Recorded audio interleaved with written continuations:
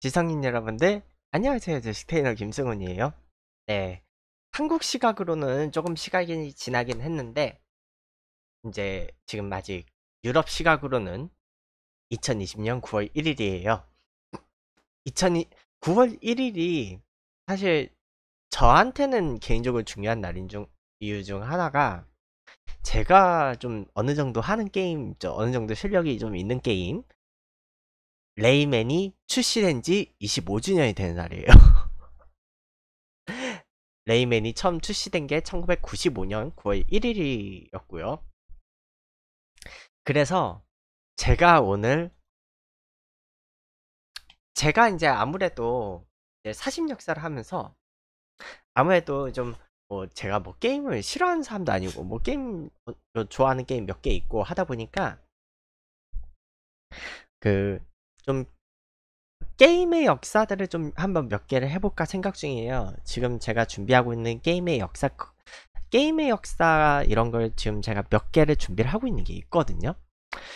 그 올해가 레이맨 출시 25주년이었고 올해가 스타크래프트2 자유의 날개가 출시된 지 10주년이었다고 해요.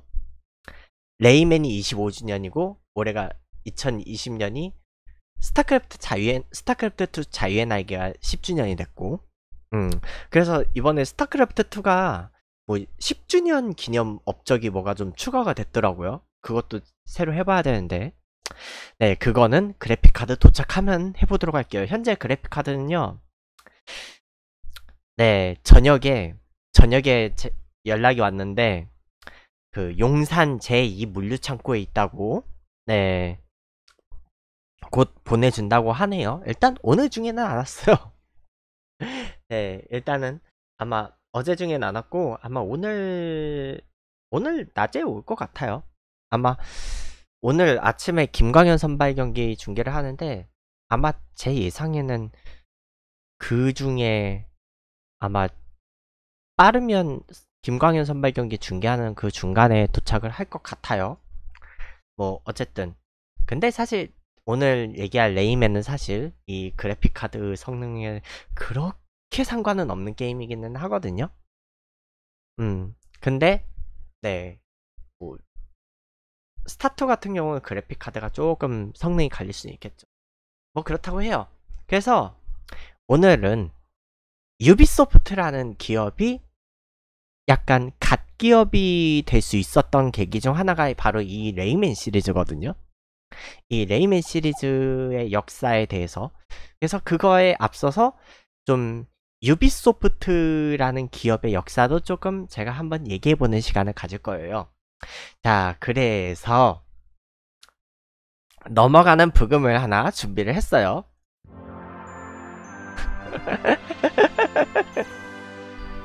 네, 게, 게임 브금 다 받아왔고요. 네, 바로 그 레이맨 시작할 때 나오는 그 유비소프트 그 브금이고요. 그 인트로 부금이고요. 유비 이제 바로 이 여기 걸려 있는 요 녀석이 레이맨이라는 캐릭터예요. 자, 이 레이맨 시리즈에 나오는 캐릭터들의 특징은요.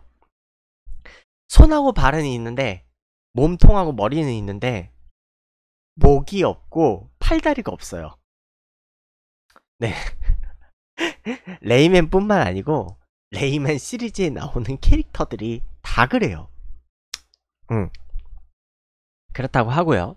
그래서 이제 오늘 준비한 집에 CD 한 장씩 있었을 레이맨의 역사. 네.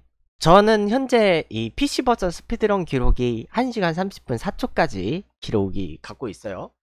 이게 아마 지금 PC 버전 world ranking 7위일 거예요. 한국 사람 기준은 3위고요. 그 한국 사람들 중에서도 최근 1년 이내에 기록을 낸 현역 스피드러너 기준으로 하면 제가 한국 2위예요. 1위 분은 여전히 하고 계시거든. 음, 저하고 10분 차이 나는 분이 있어요. 저보다, 저보다 10분 빨리 엔딩 보는 분이 있어. 음. 자, 어쨌든 넘어갈게요. 자, 그러면 레이맨을 만든 갓 기업, 유비소프트라는 기업이 어디일까? 음. 1986년에 프랑스에서 설립됐던 유럽 최대 규모의 게임 기업 중에 하나예요. 전 세계적으로 되게 그 게임 개발 스튜디오가 있어요. 한국에는 게임 개발 스튜디오는 없고 그 유비소프트 그 코리아는 있어요. 그러니까 스튜디오는 아니에요. 음. 그리고 아무래도 이제 그 캐나다가 또 프랑스하고 관계가 있는 나라다 보니까 그 몬트리올에 있는 게임 개발 스튜디오가 전 세계에서 제일 크다 그래요. 자, 현 시점 대표이사는 이브 기예모라고 해가지고 원래 이 유비소프트라는 기업이 그 기에모 가문의 이 이브 기에모의 그 다섯 형제가 만든 기업이에요. 가족 기업이야. 형제가 만든 기업이어가지고 아무래도 이제 제일 첫째인가? 이브 기에모가? 음. 어쨌든 이사 첫째인지 아니면 뭐 꼭 첫째가 대표하는 법은 없으니까 어쨌든 이브 기에모가 대표이사예요. 그리고 이제 업체 위치가 본사의 위치가 프랑스의 일드 프랑스라는 지역에 région이라고 있어요. 일, 우리나라의 도라고 하는 성격의 레지옹이 있고요. 그래서 몽트레유라는 도시에 잡고 있어요. 근데 왜 파리에 없느냐? 할 얘기가 많겠지만요. 일드 프랑스라는 région은요. 프랑스로 따지자면 우리나라의 수도권이에요. 경기도예요. 어. 우리나라의 경기도에 해당하는 지역이기 때문에 그 파리주를 중심으로 7개 주가 파리주를 둘러싸고 있는 어쨌든 그런 경기도 같은 지역이기 때문에 그 굉장히 큰 지역에 자리 잡고 있는 대기업이죠. 그리고 게임을 개발하는 스튜디오가 전 세계 30군데 이상이 분표가 돼 있어요. 아무래도 이제 각종 언어들을 지원을 하고 그리고 이따가 설명을 이제 들으면 알겠지만요. 그 이 유비소프트가요. 각 나라의 그 특유의 문화를 존중해는 해주는 기업으로 유명해요. 그렇다 보니까 전 세계 게임 개발 스튜디오를 많이 좀 그 설립을 한다 그래요. 그래서 이제 사실 메인 개발은 유비소프트 몬트리올이 중심으로 이루어지고 있고요. 그 다른 지역에 있는 스튜디오들은 뭐 그쪽에 뭐 문화 같은 거를 뭐 수집하거나 아니면 그 지역의 유저들의 약간 그런 needs를 수집을 하거나 약간 이런 일들이 많아요. 자, 그래서 원래 이 기에모 5형제는요, 원래 이제 부모가 농기구랑 농약을 파는 일종의 농업 연계 사업을 하는 집안이었어요. 그랬는데 어 이제 농업을 이렇게 크게 하기엔 힘들겠다 해서 미래에 대한 판단에 의하여 이 기에모 형제들은 1984년 기에모 Informatique Informatique Informatique 인투 Informatique 이거는 영어식 발음이고 Informatique 이게 프랑스 발음이에요. 네, 제가 그 고등학교에서 독일어는 배웠었는데 제가 프랑스어를 정식 교육 과정에서 배우진 않고 저는 프랑스어를 대학에서 교양으로 한 학기 정도 들은 적이 있어요. 프랑스어 회화를. 근데 그 쥐댐무 난 당신을 사랑해요. 뭐 아니면 뭐, 뭐 이, 이 울랄라 감탄사 약간 이런 거 말고는 제가 프랑스어를 기억하는 게 별로 남은 게 없어요. 그냥 그때 프랑스어 회화를 수업하는 선생님이 졸라게 재밌었다는 것밖에 기억이 안 남아요. 음. 심지어 그 뭐냐 조교수셨는데 선생님 이름도 까먹었어.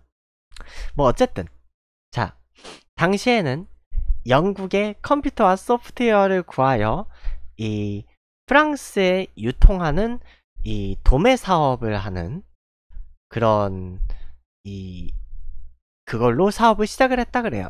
기에모 앵포라마티크는 그러다가 이제 사업을 하면서 그래서 이제 소프트웨어를 유통을 하다 보니까 오 이거 비디오 게임이 이렇게 잘 되고 있구나 해서 1986년 유비소프트라는 법인을 설립을 하게 되죠.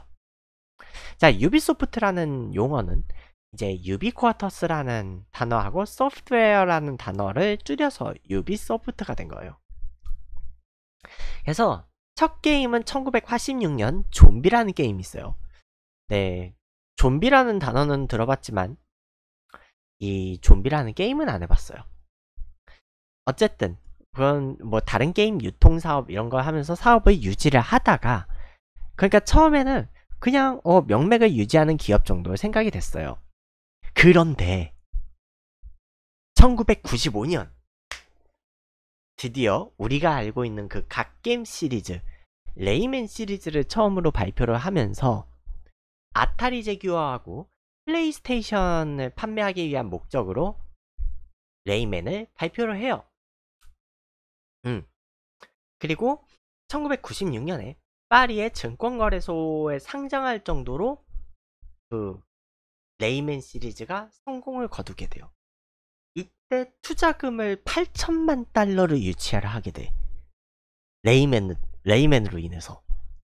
그래서 이때부터 2년 동안 이제 이 유비소프트가 글로벌 다국적 기업이 되기 위한 게임 스튜디오를 설립하기 시작하는데 이때 초창기에 만들었던 글로벌 스튜디오들이 몬, 캐나다에 있는 몬트리 그 유비소프트 몬트리올 그리고 프랑스에 있는 유비소프트 에너시 그리고 이탈리아에 있는 유비소프트 밀라노 그리고 중국에 있는 유비소프트 상하이 등이 이때 최초로 설립됐던 글로벌 게임 스튜디오예요. 음. 이 레이민 시리즈가 대박나서 투자금 받은 걸 갖다가 다른 나라의 게임 스튜디오를 파기 시작한 거야. 그러다가요, 이제 그 기에모 오형제가 이 회사를 만들었다 그랬잖아요. 그러다가 1999년에 이 형제들 중에서 미셸 기에모라는 한 명의 형제가 이제 독립법인을 설립하게 돼요. 그러니까 이 사람이 뭐 형제들 간의 불화로 갈라진 건 아니에요. 왜냐면 형제들 간의 불화가 있었으면 그 이후 회사 설립하고 서로 협력을 안 했겠지. 그 저기 현대 가문처럼 됐겠죠. 현대는 완전히 그 왕자의 난 일어나가지고 난리 났잖아요. 그래서 휴대기기 게임 전담 기업인 게임 로프트를 설립을 해가지고 유비소프트가 지적 재산권을 대여해 줬어요. 그러다 보니까 상호 협력 관계가 유지가 될 수 있었어. 현대하고는 다르게 되는 케이스죠. 자, 그 다음에 이제 유비소프트가 어느 정도 성장을 하냐면요. 2000년에 레드스톰 엔터테인먼트를 1억 7천만 유로에 인수를 하게 돼요. 그래서 이 톰 클랜시의 소설 기반 게임을 제작하는 회사인데, 그래서 이 레드스톰 엔터테인먼트의 소설 출판권도 이때 인수를 해요. 음. 그래서 이 톰 클랜시 시리즈에서 나온 게임이 그 디비전 시리즈가 있죠. 음. 그리고 2001년에 러닝 컴퍼니 게임 사업부를 인수하게 돼요. 이 고어스 테크놀로지로부터 인수한 건데 이 러닝 컴퍼니의 게임 사업부를 인수하게 되면서 페르시아의 왕자 시리즈를 이제 지적재산권을 갖게 된 거야. 지적재산권의 중요성. 그래서 페르시아의 왕자 시간의 모래 시리즈가 대박을 쳤고요. 음. 근데 이때 2004년에 EA라는 게임 회사가 유비소프트의 주식을 19.9%다 사들인 적 있어요. 그 여러분도 알죠? 그 EA 스포츠. 그 스포츠 게임들 엄청나게 만드는 회사. 음. 그 EA예요. 그래서 지금 이제 피, 피파 시리즈 게임을 EA 스포츠에서 만들고 그 다음에 그 우리나라에서 그 피파 온라인 피파 온라인 서비스는 넥슨에서 하죠. 뭐 그런 것처럼. 그러니까 서버 관리, 뭐 유저 관리 이런 거 서비스를 넥슨에서 한다는 거지. 게임은 넥슨에서 만든 게 아니에요. 피파 온라인을. 음. 막 어쨌든 그래서 주식을 대량으로 사들인 적이 있는데 이제 지분 보유율이 좀 떨어졌어요. 그렇다고 하고요. 근데 이렇게요. 그 다른 동종업계 경쟁 회사가 주식을 이렇게 막 대거 인수를 하면요. 이제 그 약간 적대적 인수 합병 약간 뭐 이런 케이스가 있어요. 그 내가 뭐 기업 경영 이런 걸 안 해봐서 뭐 이런 건 잘 모르긴 하겠는데 참 뭔가 이제 복잡한 얘기로 들어가요. 뭐 그렇다고 하고요. 자, 그 다음에 이제 유비소프트가 2007년에 어세신 크리드 시리즈가 발매가 돼요. 자, 유비소프트의 특징은요. 뭐 PC에서 하든 콘솔에서 하든 여러 기기의 버전들이 다양하게 통합으로 나와요. 물론 PC 버전은 조금 늦게 나왔고요. 그래서 어시신 크리드 시리즈가 발매되면서 이제 지금까지 계속 시리즈가 나오고 있는데요. 이건 약간 TMI이긴 한데 나는 그 노트르담 대성당이 그 불탔을 때요. 이 어세신 크리드 유니티라는 그 시리즈가 있어요. 이 유니티 시리즈가 그 이제 노트르담 대성당이 배경으로 나오는 스테이지 뭐 시나리오 뭐가 있나 봐요. 그래서 그 게임을 통해서 노트르담 대성당을 간접적으로 볼 수 있다 하는 식으로 해가지고 이때 유비소프트가 한시적으로 어세신 크리드 유니티를 공짜로 풀었어요. 그 소식을 듣고 나는 어세신 크리드 유니티 당시에 하지도 않았던 게임을 일단 사뒀어요. 공짜니까. 공짜니까 사뒀는데 아직 못 해봤어요. 못 해본 이유는요. 돌릴 사양이 안 됐어요. 그 당시에는 CPU도 사양이 안 됐고 지금은 CPU는 충분해요. CPU는 아마 충분할 것 같은데 옵션 타협하면 그래픽 카드를 지금 새로 주문을 해놨는데 현재 지금 용산 제2 물류센터에 있다 그래요. 그래서 그 그래픽 카드가 도착하면 나중에 컨텐츠를 한번은 해볼 생각이 있어요. 참고로 저 GTX 1660 슈퍼를 질렀어요. 원래는 내가 돈이 조금만 더 있었으면 그냥 내가 뭐 RTX 2060이나 2060 슈퍼 정도를 생각을 하고 있었는데 근데 돈이 딸려서 음, 1660 슈퍼로 합의를 봤고요. 아마 나중에 RTX 그래픽카드 어차피 이제 조만간 이제 새 버전 발표가 되잖아요. 아직 출시는 아니지만. 그래서 그냥 어차피 RTX 시리즈 사면 배 아플 것 같아서 그냥 내년 초쯤에나 나올 것 같은 그 한 내년쯤에나 나올 것 같은 그 GTX 시리즈를 샀고요. 음. 그래서 GTX 시리즈를 샀고 그 그래서 저는 그거 할 거예요. 그 방송 송출하는 컴퓨터에는 당분간 GTX 1660 슈퍼를 계속 쓸 거고요. 나중에 게임 컴퓨터 따로 조립을 하게 되면 투컴으로 하, 가게 되면 그때 게임컴에다가 RTX 그래픽 카드를 꽂을 생각은 있어요. 그때는 투컴 할 때는 거기에는 RTX 꽂아야지. 자 그렇고요. 그 다음에 2014년 10월 그동안 토론토 스튜디오 총괄 프로듀서 겸 상무이사였던 제이드 레이몬드가 퇴사를 해요. 보통 상무이사가 전무이사급 정도 되면 그 vice president잖아요. 부사장이잖아. 거의 부사장급이 퇴사를 했어요.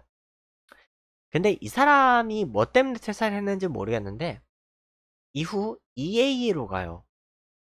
경쟁사인 EA로 가서 하나에 이제 들어가서 모티브 스튜디오 설립하고 이제 스타워즈 시리즈에서 IP 업무를 담당을 했었는데 이제 EA하고 내부 마찰이 있어가지고 2018년에 EA를 퇴사를 했다고 전해져요. 그래서 이 제이드 레이몬드 요즘 뭐 하는지는 모르겠어요. 그렇다고 하고요. 그리고 이제 비방디라는 사람이 있어요. 이제 그 기업 기업인 중에 약간 투자자 중에 한 명인데요. 이 비방디라는 사람이 갑자기 2015년에 지분을 갑자기 10%를 확보한 거예요. 액티비전이었던 블리자드 주식을 대거 처분하고 나서 이제 유비소프트 지분을 사들였는데 이제 적대적 인수합병 작업을 하려고 했던 거예요.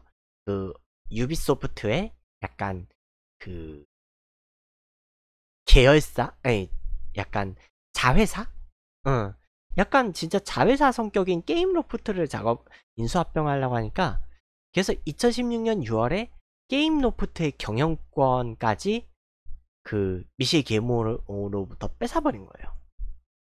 그리고 유비소프트 주식도 2016년까지 25%를 넘어버린 거야. 근데 이제 그 프랑스의 기업법에 의하면요. 대주주를 보호하기 위해서 그러니까 대주주의 권리를 좀 지켜주기 위해서 있는 법률 중에 하나인데요. 주식 보유량이 30%를 넘어가면요. 경영권을 가져올 수 있어요.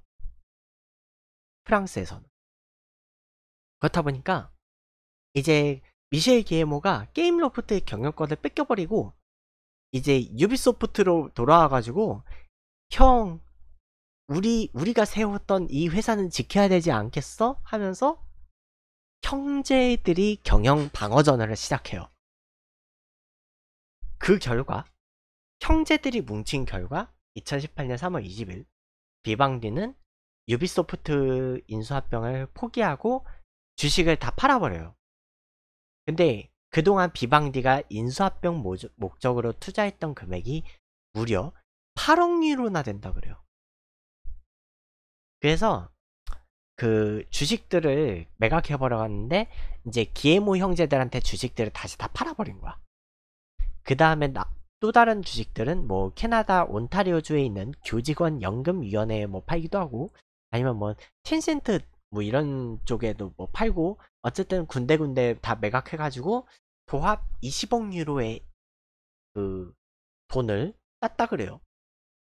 음. 뭐 돈은 많이 갖고 왔네. 주식 다 매각해가지고. 아, 참 나도 돈이나 좀 많이 있으면 좀 주식이나 좀, 좀 갖고 있으면 좋을 것 같아요. 음.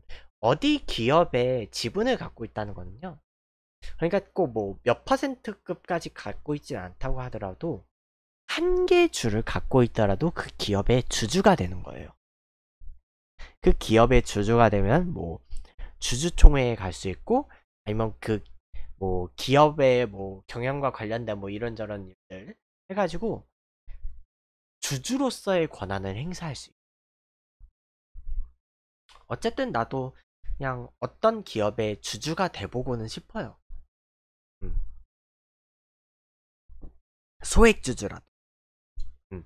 소액 주주로라도 좀 주주로서의 권한을 좀 행사를 해보고는 싶은데.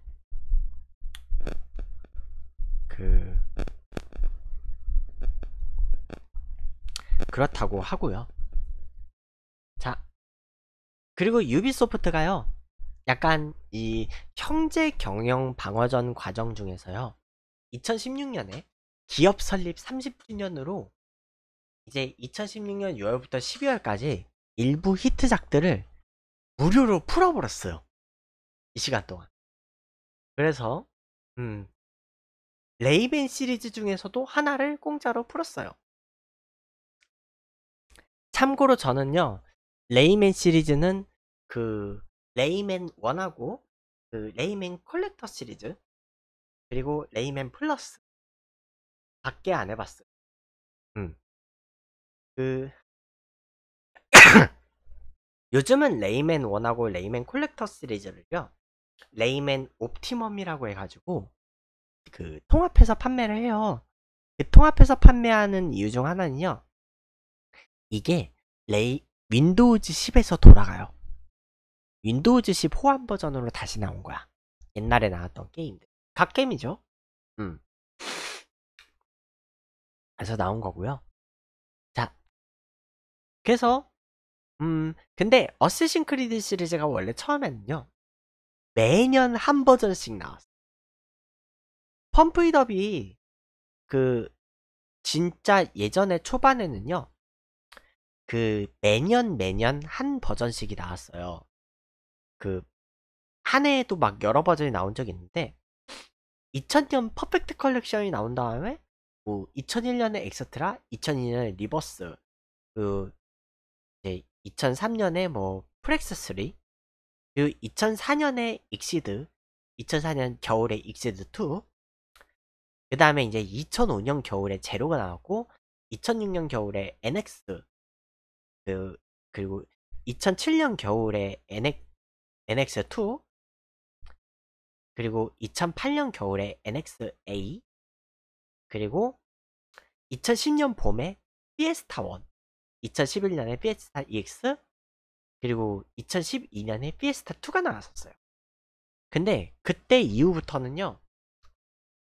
그때부터 이제 그 패치로 바뀌면서 약간 옛날에는 유저들이 USB로 받아가지고 그 패치를 진행하는 방식이었는데 그러다가 이제 온라인 패치로 바뀌게 됐어요.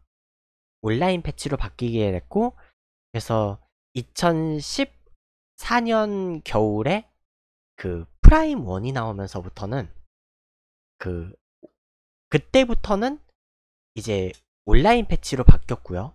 그 다음에 Prime 2가 2017년 1월에 나왔죠. 그 다음에 그 2019년 1월에 Double X가 나왔어요. 20주년 기념 버전으로. 그래서 이제 Prime 1 때까지는 그렇게 막 그 패치를 엄청나게 하다가 그 다음에 이제 Prime 2부터는요. 연도가 1년 지나면 1.0, 2.0 버전이 나왔고 음. 그래서 2년에 한 번 새 버전이 나오고 패치를 여러 번 하는 식으로 바뀌었다.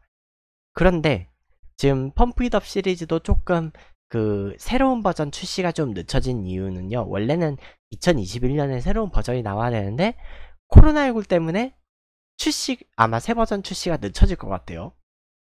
그래서 뭐 다른 뭐 온라인 뭐 팬 서비스, 이벤트 서비스 뭐 이런 거를 좀 하는 식으로 아마 좀 새 버전 출시가 좀 늦어질 것 같다고 하네요.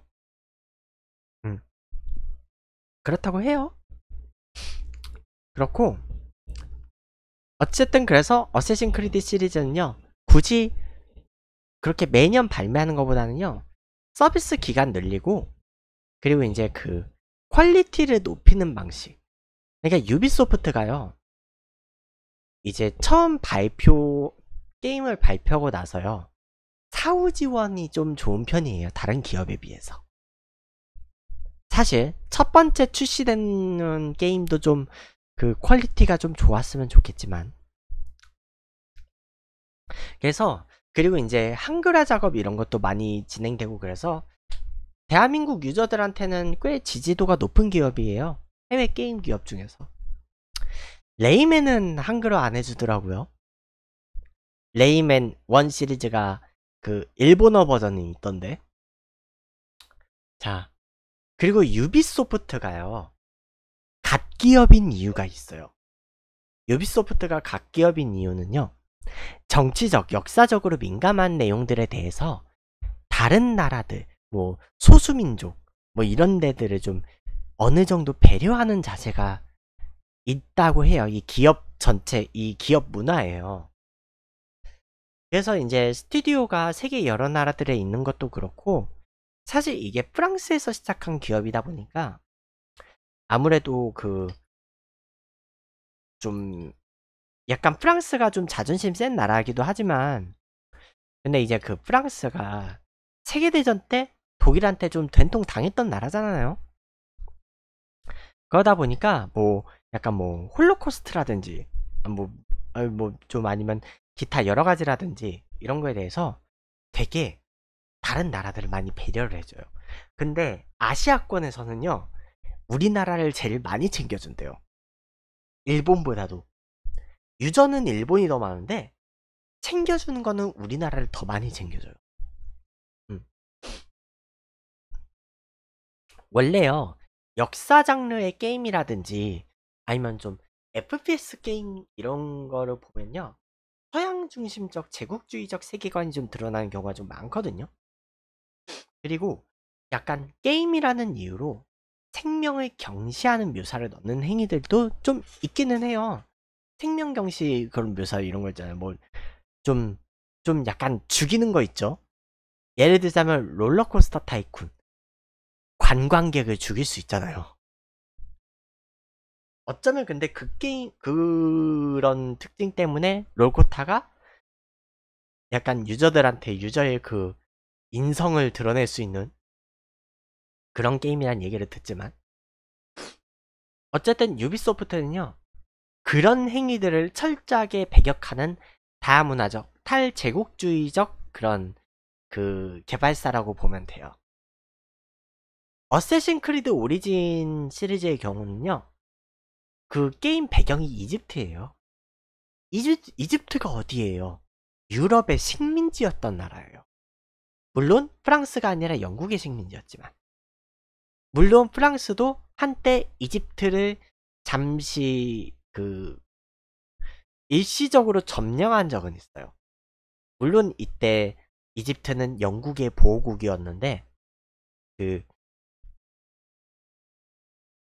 그러니까 이때 오스만 투르크 제국이 그 영국의 영향을 좀 많이 받고 있었을 때요. 특히 이집트 지역. 그 이집트의 독립을 인정을 하게 되면서 그리스하고 이집트를 독립시켰잖아요. 오스만 제국이. 그때 이집트가 영국의 영향을 받고 있었는데 이때 나폴레옹 1세가 이때는 나폴레옹이 황제가 되기 전이었어요. 이집트가 그때는 당시 나폴레옹이 한 20대, 30대? 되게 젊은 나이에 그 장군 계급까지 올라갔거든요. 20대의 장군이었어요. 나폴레옹 1세는. 그 20대 장군, 장군 계급까지 올라갔었는데, 타계급. 그, 그 나폴레옹이 그, 뭐냐, 통영 정부 만들기 전이었어. 그때 이집트 원정 가서 알렉산드리아하고 카이로를 점령한 적이 있어. 근데 이때 그 나폴레옹 1세가 카이로에 머무르는 동안에 알렉산드리아에 있던 함선들이 그 뭐냐 영국의 그 유명한 그 넬슨 제독에 의해서 함선이 격침당한 적이 있어요. 그 유명한 넬슨이 나폴레옹의 뒤통수를 샥 때리고 간 거야. 어. 그래서 넬슨이 알렉산드리아에 있는 그 프랑스 함대를 다 격침시켰을 때 나폴레옹이 그 포위망을 몰래 뚫고 조그만 배 한 척을 타고 그 프랑스로 돌아가 가지고 이제 그 통영 정부 혁명을 그 일으켜 쿠데타를 일으키고 그, 그 다음에 이제 권력을 장악한 다음에 이제 프랑스로 다시 함선 이집트로 다시 함선을 보내서 그 뭐냐 이집트에 있던 그 프랑스 병력들을 다 철수시킨 적이 있어요. 어쨌든 그때 이후로 이집트는 영국의 식민지였지만 어쨌든 프랑스의 영향이 있었다는 거. 그랬는데 하물며 그런 유럽의 식민지를 겪었던 이집트를 게임 배경으로 하고 그러면 그렇다고 해서 게임 퀄리티가 저급은 아니었다는 거야. 게임을 개발하는 비용만 무려 수백억 원을 들었다는 거야. 그러니까 좀 제국주의나 역사 왜곡 이런 거를 안 좋아하는 기업이다 보니까 대한민국 시장에서 그래서인지 인기가 좋아요. 그 막 대한민국을 되게 많이 챙겨주는 게 어떤 게임에서는요. 태극기 건공감리 이 좌표까지 되게 정확하게 그 그려 넣는 경우도 있고요. 음. 동해를요. 원래 동해에서 현재까지는 그 East Sea하고 Sea of Japan이 병기가 되고 있잖아요. 근데 우리는 Sea of Japan 안 좋아하잖아. 그 그런데 그 Ubisoft는요. 동해 바다를요. Sea of Korea라고 해주고 있어요. 그래서 대한민국에서 되게 갓기업이 되고 있어요. 독도 독도도 챙겨져요. Ubisoft는 그렇고요. 근데 이제 완벽하진 않고 좀 실수를 한 적이 있긴 있어. Rainbow Six Siege에서요. 이제 중국 시장을 개척하기 위해서 이게 중국에 약간 민감한 요소가 있었나 봐. 그래서 모든 세계에 대한 검열 패치를 하려고 했다가 철회한 적이 있었고. 그리고 Ghost Recon Wildlands에는요. 그 군인 캐릭터 중에서 욱일기 문신이 들어간 캐릭터가 있었어요. 그렇다고 하고요. 그 다음에 이제 Rainbow Six Siege 이게 우리나라에서 Rainbow 그 우리나라에서 레식이 그 갓겜인 이유가 있어요. 우리나라에서 레식이 갓겜인 이유가 대한민국 PC방에서는 모든 게 무료거든. 아, 물론 PC방 이용료는 내야죠. 그리고요, 그, 비질. 비질은 한국인 캐릭터이고, 그리고 이제 세터민 출신. 그래서 이 캐릭터를 통해서 북한의 인권 탄압을 우회적으로 고발하기도 했고, 그리고 도깨비라는 캐릭터가 있어요. 이 도깨비라는 캐릭터는요, 가슴에 47 워리어스를 뭐 이런 걸 그 표기를 한 게 있어요. 근데 이 47이라는 숫자가 뭘 의미하냐면요. 천안함 피격 사건 때 희생됐던 용사의 인원수라 그래요. 물론 우리가 흔히 알고 있는 천안함 용사는 46명. 그 천안함에서 그 시신을 찾은 군인이 40명의 용사가 있고요. 그래도 실종된 용사가 6명이 있어요. 끝내 찾지 못했죠. 그런데 그 거기까지 46명이고 그리고 이 사람들을 찾다가 이 사람들을 수색하다가 이 수색 과정에서 고 한주호 준이가 익사를 했죠. 그래서 이 한주호 준이까지 합해서 47명이 47명의 용사. 그래서 무고군장 수여됐죠. 음. 그 다음에 이제 어쌔신 크리드 오디세이. 어쌔신 크리드 오디세이는요. 이제 미스티우스 중에서 여성 주인공인 그 카산드라가 있어요. 근데 이 카산드라가요. 스파르타 캐릭터거든요. 근데 고대 스파르타에서 알잖아요. 역사 좀 공부했던 사람들은 여성도 군사훈련 받았다는 거 알잖아요. 다만 스파르타가요. 이제 영화 300을 보면 알겠지만요. 영화 300 시리즈에서 남성이 군사훈련을 받았던 이유는 남성은 전쟁에 나가려고 군사훈련을 받는 거야. 전사를 양성하는 훈련을 받았다면요. 여성들이 군사훈련을 받은 이유는 강한 전사를 낳기 위한 훈련을 받은 거예요. 강한 전사를 건강한 몸에서 낳아야 한다 하면서 여성들도 체력 훈련을 받았고요. 그래서 여성들 이제 아기를 낳는 과정에서 정말 막 자연분만 응? 그 약간 그 카산드라가 카산드라라는 이 이름에서 그 코미디언 김현 그 김현숙 씨가 그 출산드라라는 캐릭터가 나왔었잖아요. 응? 다산의 상징 출산드라 해가지고 자연 분만 모유 수유 자연 분만 모유 수유 해가지고 이거 있었잖아. 음 그게 바로 여기서 비롯됐다 그래요. 진짜로 이 스파르타 여성들은 자연분만 모유 수유를 위해서 그 이 훈련을 받는 거야. 근데 그렇게 강, 강한 체력을 키우고 임신을 하고 아기를 낳았는데도 이제 아들을 낳으면 검사를 받아요. 그래서 퀄리티가 딸린다 하면 버려지죠. 그래서 이제 여성들은 실제 종군은 하지 않는다. 라고 하고요. 그리고 이제 신탁에 의해서 주인공이 버려지고 약간 이제 프리랜서 용병이 된단 말이야.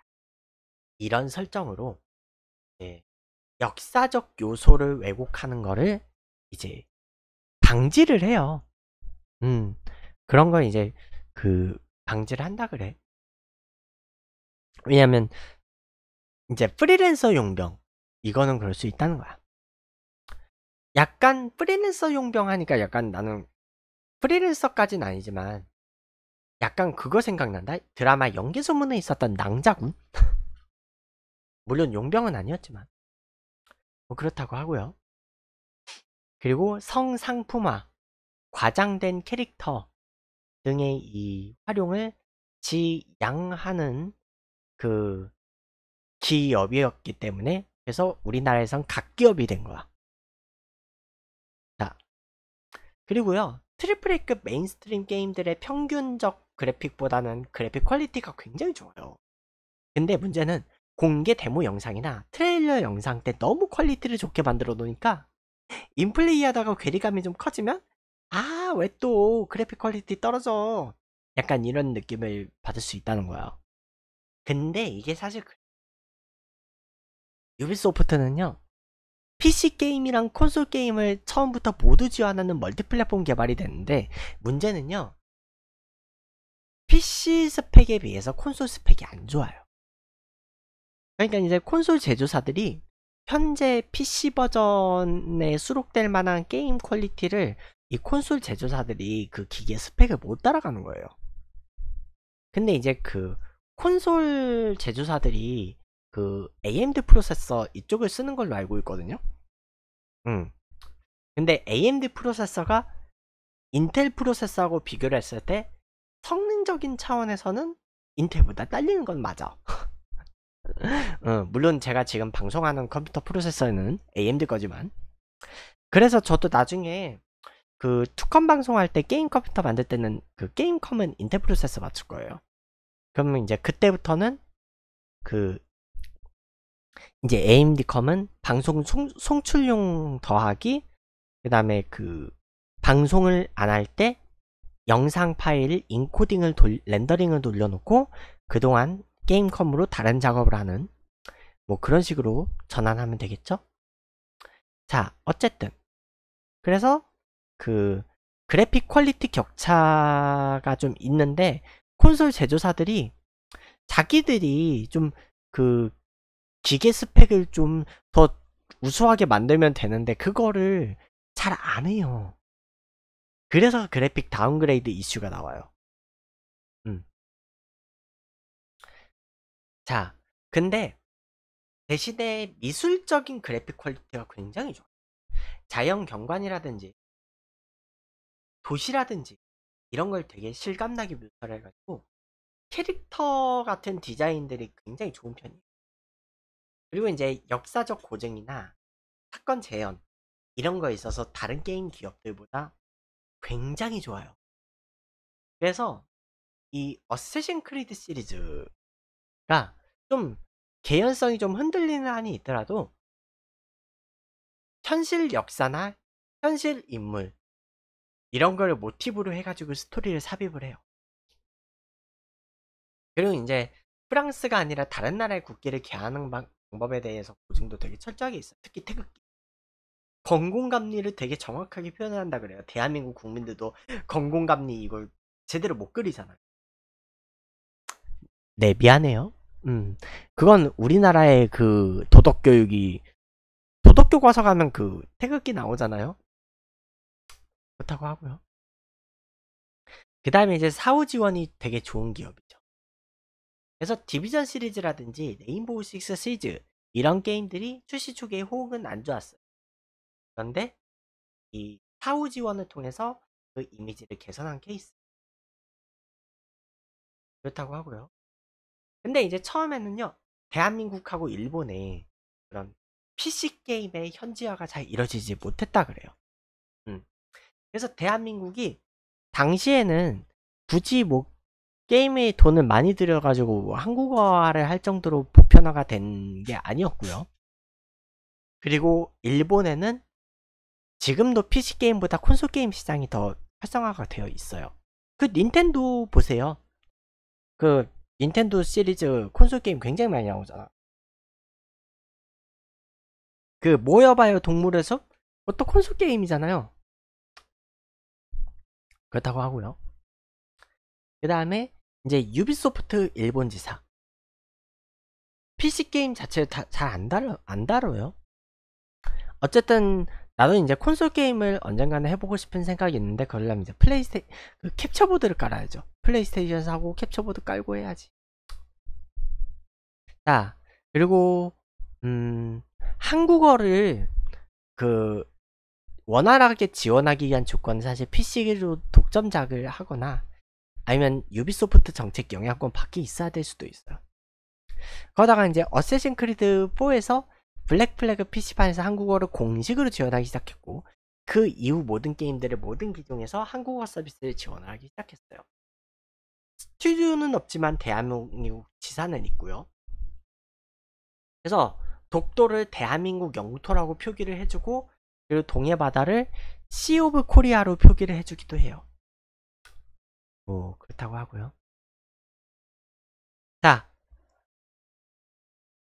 그리고 이 저스트 댄스 저스트 댄스도 유비소프트 게임인데 이 저스트 게임 저스트 댄스 해본 사람들 알겠지만요. 이 케이팝 곡이 상당수 많아요. 물론 이제 펌프잇업이라는 리듬 게임이 또 있지만 펌프잇업은 그 안다미로에서 만든 게임이기 때문에 대한민국 기업이 만든 게임이기 때문에 케이팝이 많은 거예요. 음. 어쨌든 저스트 댄스도 나중에 내가 그 저스트 댄스 관련해서 나도 몰라 나중에 그 뭐냐 게임 우- 할 기회가 생기면 아마 방송에서 할 수도 있어요. 그 타이님이 저스트 댄스 국내 랭커 중에 한, 명, 한, 한 명이던데. 음. 뭐 글쎄요. 그리고 이제 그 블리자드 엔터테인먼트라든지 라이엇 게임즈라든지 밸브 코퍼레이션 등에 비해서는 인지도가 높은 편은 아니에요. 그럴 수밖에 없어. 왜냐면 블리자드 엔터테인먼트는 스타크래프트하고 오버워치라는 양, 각 게임의 양대 산맥이 있거든.